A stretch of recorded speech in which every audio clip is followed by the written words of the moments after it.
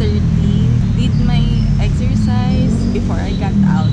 Since I don't have any travels yet, I decided to take you with me for my today's jogging.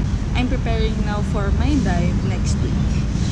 I'm doing my jogging from our house to CCP since it's the nearest place where everybody exercises.